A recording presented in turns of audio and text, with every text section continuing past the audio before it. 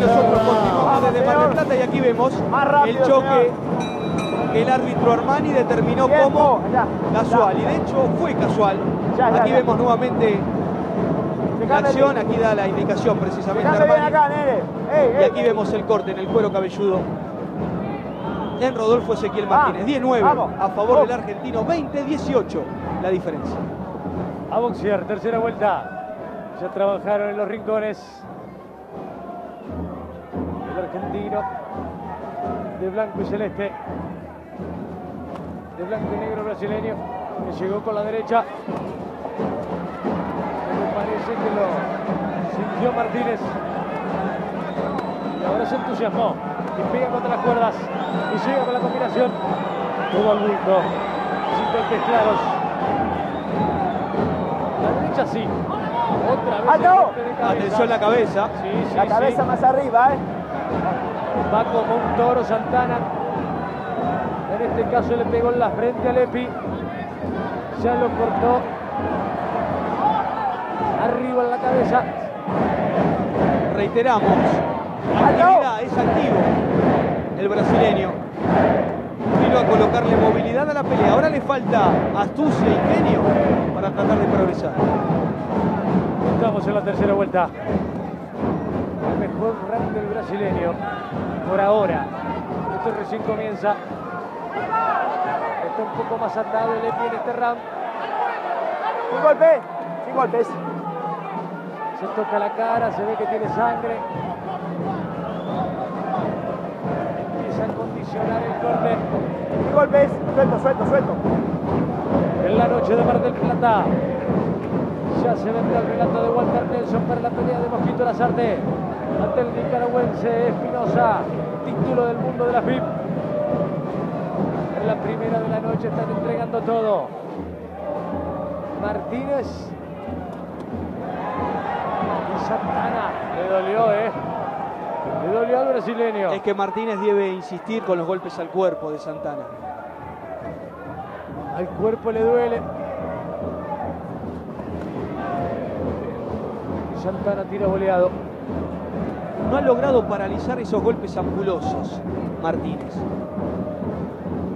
Los ve venir, pero llegan igual. Muchísimo público. Estadio colmado. Pelean contra la cuerda donde estamos nosotros. Cada vez más sangre tiene Martínez que va y va.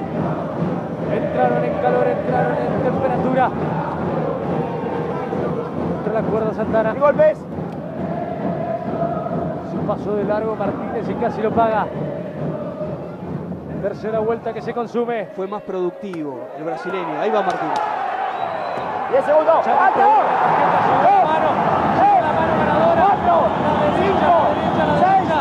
No se levanta más, no se levanta más. Se acaba, se acaba. Knockout, knockout, knockout, knockout. Mano letal. Cuando el round parecía de Santana. La derecha fulminante de Lepi Martínez al tercero y se acaba. ¡Qué mano conmocionado quedó el brasileño! Lona, lona, lona. Final, final, final. El Lepi ganador en Mar del Plata. ¡Qué derecha, viejo!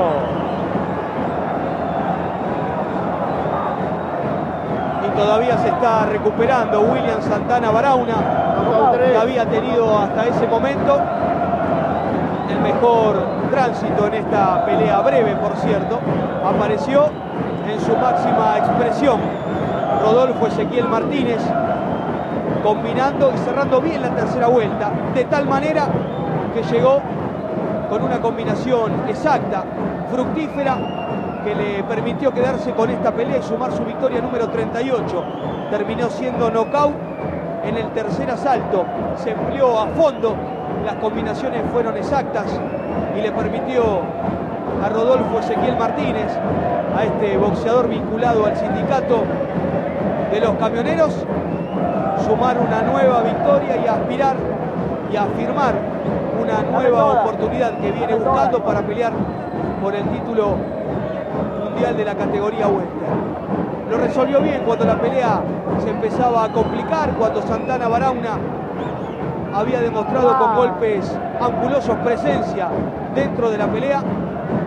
Apareció Rodolfo Ezequiel Martínez de esta manera. Lo mejor de la pelea, primero vemos el cabezazo, una maniobra que perturbó al boxeador argentino y luego vamos a ver la definición, cómo se va a emplear a fondo, colocándole determinación a las acciones y quedarse con esta victoria en la tercera vuelta. Este es el momento de la definición, contra las cuerdas, cuando todos esperaban el tañido de la campana, el cruzado de mano derecha sobre la mandíbula de Santana Barauna, gran definición del boxeador argentino para sumar una nueva victoria en su récord.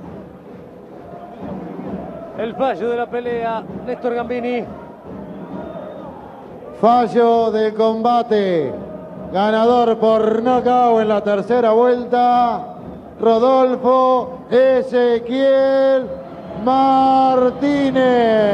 Ha ganado el Epi Martínez. Retiene la corona Solano. Mundo Hispano en la categoría welter. Ezequiel Victoria 15 por la vía Martínez sigue siendo 38 en la el campeón mundo hispano de la categoría Para welter. enman- enmarcarlo tuvo el Epi. Una definición exquisita de lo mejor que hemos vivido en este año, en el ciclo de boxeo de primera, una nueva victoria y la felicidad del boxeador de San Francisco Solano que disfruta de una nueva victoria. Hacemos un pequeño corte y continuamos con mucho más boxeo de primera y le vamos a presentar la victoria de Giovanni Segura sobre Iván Calderón y además un boxeador que se alejó del boxeo y se animó a entrar a la jaula. Corte y volvemos.